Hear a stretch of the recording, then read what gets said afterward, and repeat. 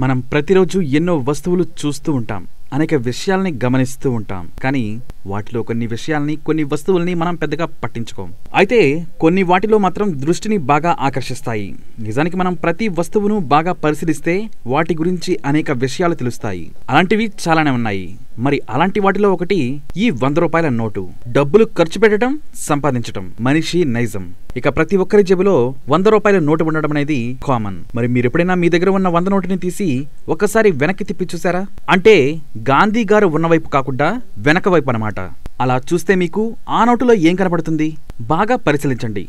ఇప్పుడు మీకు ఆ కొన్ని మేఘాలు కొండలు ఉన్న ఒక బొమ్మ కనిపిస్తుంది.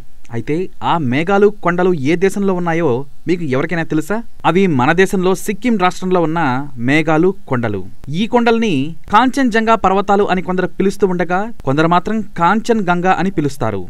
ఈ పర్వతాలను హిమాలయ పర్వతాల్లోని ఒక భాగంగా చెబుతారు. మన దేశంలోని సిక్కిం రాష్ట్రంలో ఉన్న ఆ పర్వతాలని వాటిపై ఉన్న మేఘాలని ఫోటో తీసి ఆర్బీఐ వారు ఈ వంద రూపాయల నోటు వెనకాల ప్రింట్ చేశారు. ఈ బొమ్మ వెనుక ఉన్న అసలు కథ ఇదే. ఈ సిక్కింలో ఉన్న కాంచనగంగా పర్వతాలు ప్రపంచంలోనే అతి ఎత్తైన పర్వతాల్లో మూడవ స్థానంలో ఉన్నాయి. ఈ పర్వతాల్లో కొంత భాగం మన పొరుగు దేశం అయిన నేపాల్లోనూ కొంత భాగం ఇండియాలోనూ విస్తరించి ఉన్నాయి. ప్రపంచంలోకెల్లా ఎత్తైన పర్వతాల్లో మూడో స్థానంలో ఉన్న ఈ పర్వతాలలో దేవతలు ఉంటారని అందుకే ఈ పర్వతాలపైకి మానవులెవరూ కూడా వెళ్ళలేరనేది స్థానికులు చెబుతున్నమాట ఇక ఈ పర్వతాలలో ఐదు రకాల నిధులు దాగి ఉన్నాయని కూడా చెబుతున్నారు. ఈ కాంచన్ గంగా పర్వతాలపైకి చాలామంది ఎక్కుతూ ఉంటారు కానీ బాగా పైకైతే వెళ్ళరు కొద్ది అడుగుల దూరంలో ఆగిపోతారు. ఇక ఈ పర్వతంపై మొత్తం ఐదు శిఖరాలు ఉన్నాయి. ఈ పర్వతాల్లో బంగారం వెండి రత్నాలు వంటి నిధులతో పాటు ధాన్యంతో పాటు పవిత్ర గ్రంథాలు కూడా ఉంటాయనేది స్థానికుల నమ్మకం.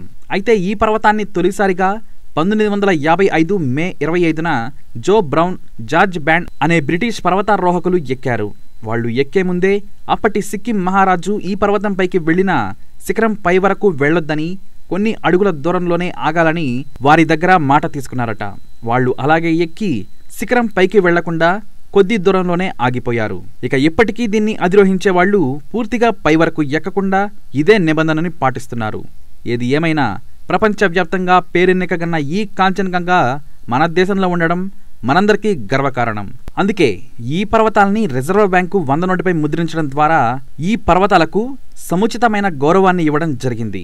ఇది వంద రూపాయల నోటు మీద ఉన్న కాంచన్ గంగా మిస్టరీ ఈ వీడియో మీకు నచ్చినట్లయితే లైక్ చేయండి షేర్ చేయండి. అలాగే మీకు ఇలాంటి వీడియోస్ కావాలి అనుకుంటే తప్పకుండా మీరు కమెంట్ బాక్స్ ద్వారా మీకు ఏమి కావాలో చెప్పండి.